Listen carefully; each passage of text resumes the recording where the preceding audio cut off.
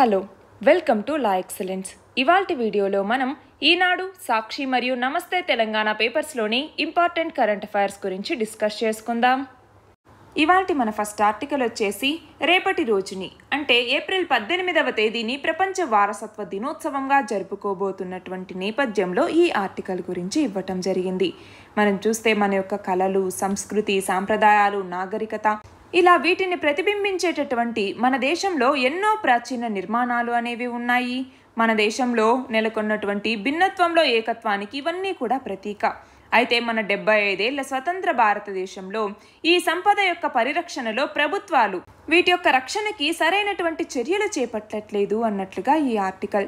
కేవలం మనం చూస్తే అతి ప్రాచీనమైన కోటలు అపురూపమైనటువంటి సౌందర్యం ఉండేటటువంటి శిల్ప కళాకృతులు సహజ సిద్ధమైనటువంటి గుహాలయాలు మెట్ల బావులు ఇలా ఎన్నింటినో అప్పటి పాలకులు మనకి కానుకగా అందించారు.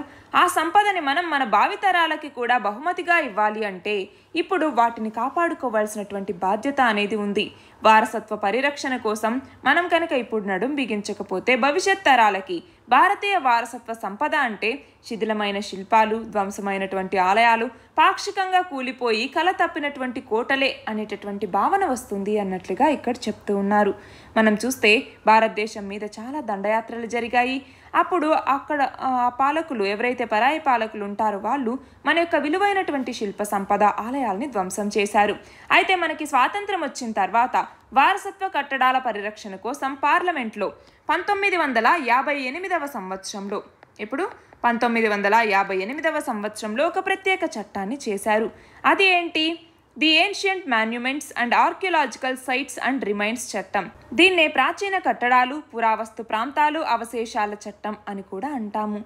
అయితే దీని లక్ష్యం అనేది ఎంత గొప్పగా ఉన్నా దీని ఆచరణ అనేది సరిగ్గా అమలు కాలేదు. ఈ చట్టంలో ఉన్న నిబంధనల ప్రకారమే కేంద్ర పురావస్తు శాఖ పనిచేయాల్సి ఉంటుంది.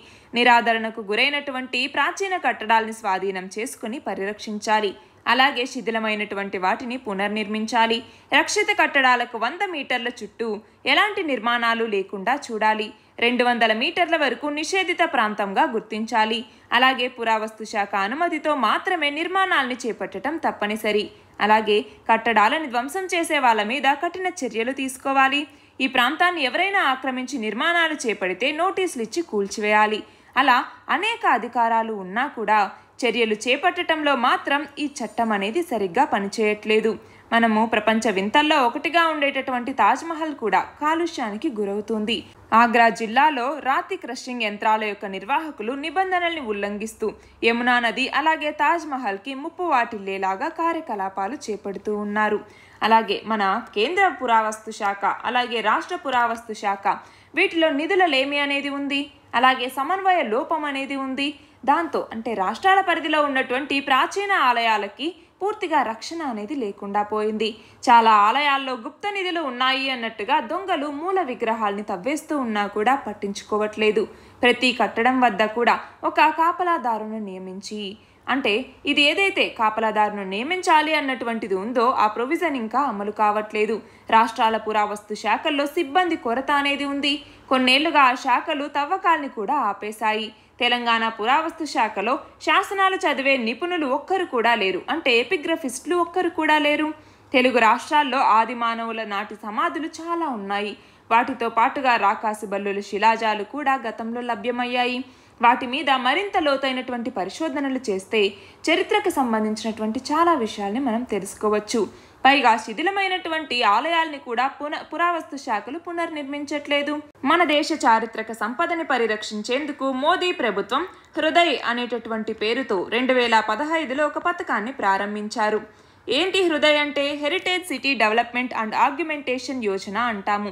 దీని కింద దేశవ్యాప్తంగా పన్నెండు చారిత్రక నగరాల్ని ఎంపిక చేసి ఆయా ప్రాంతాల్లో ప్రాచీన కట్టడాల పరిరక్షణకి ఇందులో నిధుల్ని మంజూరు చేశారు. అలా తెలుగు రాష్ట్రాల నుంచి అమరావతి అలాగే వరంగల్ ఉన్నాయి. అన్ని నగరాల్లో కలిపి మొత్తం డెబ్బై ఏడు కట్టడాల్ని తీర్చిదిద్దటం కోసం మొత్తం నాలుగు వందల యాభై మూడు కోట్ల రూపాయల్ని కేటాయించారు. అభివృద్ధి పనులు ఏవైతే ఉంటాయో వాటికి సంబంధించి అంటే దీంట్లో ఆ బాధ్యతని రాష్ట్ర ప్రభుత్వాలకు అప్పగించారు. దాంతో నిధులు ఉన్నా కూడా సరైనటువంటి ప్రణాళిక అనేది లేకపోయింది. ఈ హృదయ అన్నటువంటి పథకం రెండు వేల పంతొమ్మిదికే పూర్తి కావాల్సి ఉన్నా ఇప్పటికి చాలా చోట్ల పనులు అనేవి సాగుతూ ఉన్నాయి. ప్రపంచ వారసత్వ సంపదని పరిరక్షించటంలో ఇలాంటి పథకాలు అనేవి చాలా మేలు చేస్తాయి. కాబట్టి ఇలాంటి వాటిని సమర్థవంతంగా అమలు చేయాల్సినటువంటి బాధ్యత ప్రభుత్వం మీద ఉంది. ఇక్కడ క్వశ్చన్ చూడండి. ప్రపంచ వారసత్వ దినోత్సవాన్ని ఎప్పుడు జరుపుకుంటారు? ఎప్పుడు జరుపుకుంటారు? ఏప్రిల్ పద్దెనిమిదవ తేదీన. మన నెక్స్ట్ ఆర్టికల్ వచ్చేసి ఉమ్మడి నౌకాదళ కూటమి లేదా సిఎంఎఫ్కి సంబంధించి. అమెరికా నేతృత్వంలోని ఉమ్మడి నౌకాదళ కూటమిలో సహ భాగస్వామిగా చేరుతున్నట్లుగా మన భారతదేశం ప్రకటించింది. హిందూ మహాసముద్రంలో మన యొక్క ప్రయోజనాల పరిరక్షణకి ఇది దోహదపడుతుంది.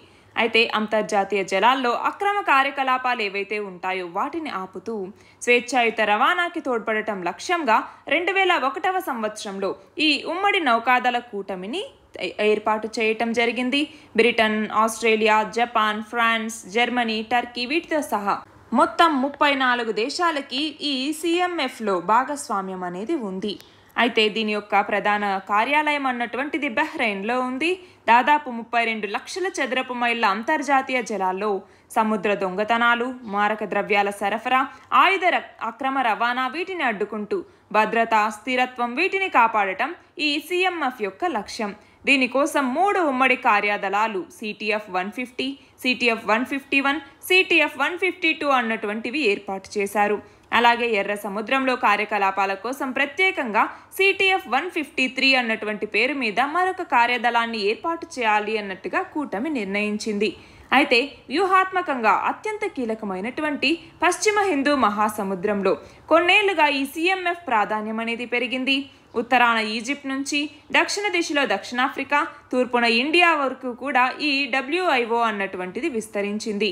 అలాగే పశ్చిమంలోకి వచ్చేసరికి ఆఫ్రికా ఖండం అనేది ఉంటుంది. పర్షియన్ గల్ఫ్ అరేబియా సముద్రం ఎర్ర సముద్రం gulf of Aden Mozambique channel ఇలాంటివన్నీ కూడా దీని పరిధిలోకే వస్తాయి. ఈ సీఎంఎఫ్లో భాగంగా కొన్ని దేశాలు డబ్ల్యూఐఓలో బలగాల్ని కూడా మోహరించాయి. అయితే హిందూ మహాసముద్రంలో ప్రాబల్యాన్ని పెంచుకోవటం కోసం చైనా ప్రయత్నిస్తోంది. సముద్రపు దొంగతనాల్ని అడ్డుకట్ట వేసేటటువంటి లక్ష్యంతో డబ్ల్యూఐఓలో భారీగా బలగాల్ని మోహరిస్తోంది. ఇప్పటికే జిబౌటీలో చైనా తన యొక్క స్థావరాన్ని ఏర్పాటు చేసుకుంది. ప్రాంతీయ భద్రతకి ఈ పరిణామాలన్నీ కూడా ముప్పుగా పరిణమించే అవకాశాలు కూడా ఉన్నాయి. మనం చూస్తే తూర్పు ఆఫ్రికా తీర ప్రాంతం ఏదైతే ఉంటుందో దాన్ని హెరాయిన్ తీరంగా పిలుస్తూ ఉంటారు. ఆఫ్ఘనిస్తాన్లో తాలిబన్లు మళ్ళీ అధికారంలోకి రావటంతో ఆఫ్ఘనిస్తాన్ పాకిస్తాన్ల నుంచి డబ్ల్యూఐఓలో మారక ద్రవ్యాల సరఫరా అనేది పెరిగింది. దాన్ని అడ్డుకోలేక ఈ తూర్పు ఆఫ్రికా దేశాలు చేతులెత్తేస్తూ ఉన్నాయి. మారక ద్రవ్యాల సరఫరా ముఠాలు ఉగ్రవాదులతో సంబంధాలు పెంచుకుంటూ ఉన్నాయి. ఈ క్రమంలో ఇండియా అమెరికా డబ్ల్యూ డబ్ల్యూఐఓలో ఒకటిగా ముందుకు సాగాల్సినటువంటి అవసరం ఉంది అన్నట్లుగా ఈ ఆర్టికల్. ఇక్కడ క్వశ్చన్ చూడండి. అంతర్జాతీయ జలాల్లో అక్రమ కార్యకలాపాలకు అడ్డుకట్ట వేస్తూ స్వేచ్ఛాయుత రవాణాకి తోడ్పడటం లక్ష్యంగా ఉమ్మడి నౌకాదళ కూటమి ఎప్పుడు ఆవిర్భవించింది. ఎప్పుడు రెండు వేల ఒకటవ సంవత్సరంలో.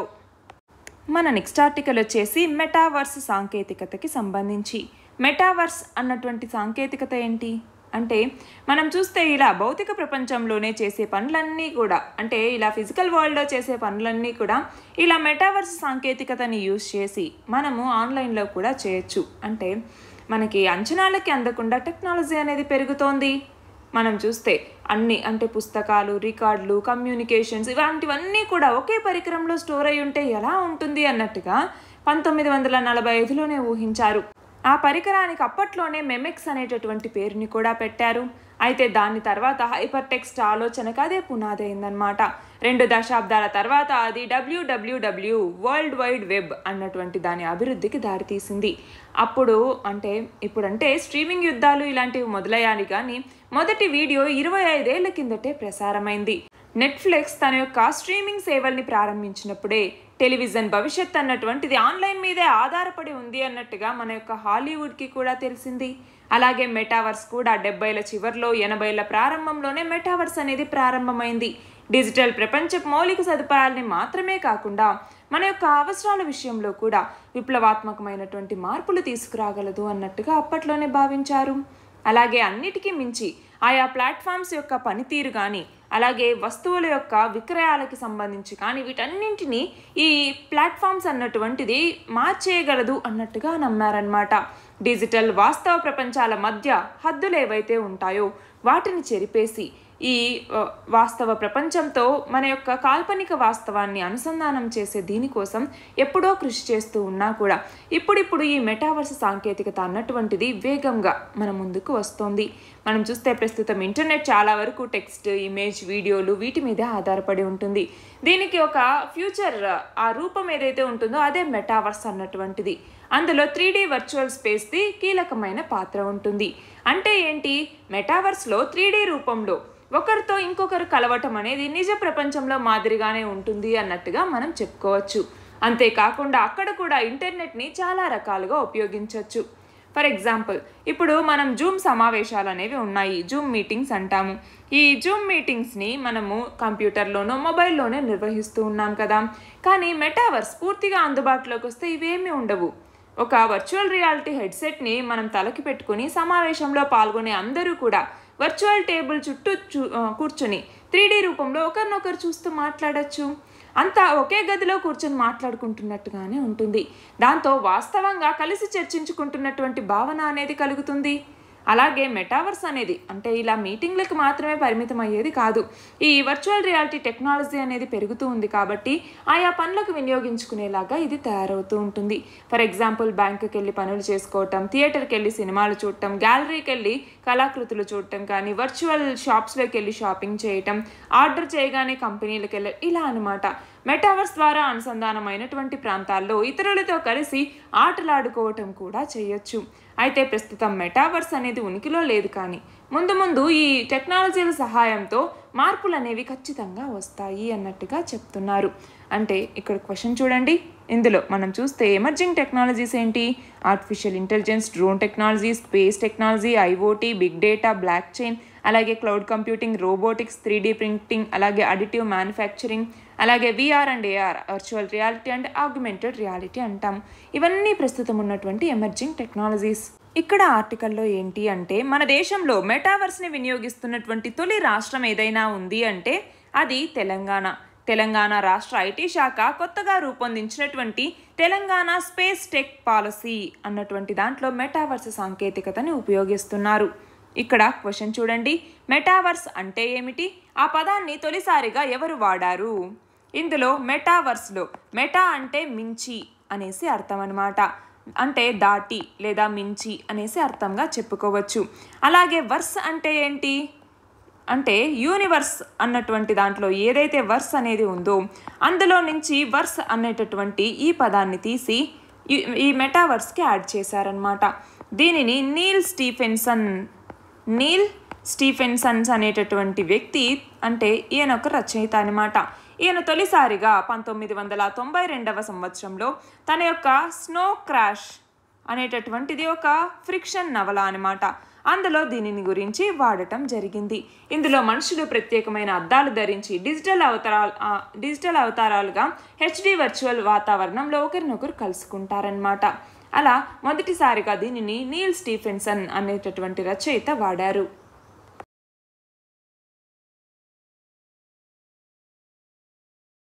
మన నెక్స్ట్ ఆర్టికల్ వచ్చేసి టెలిమెడిసిన్కి సంబంధించి.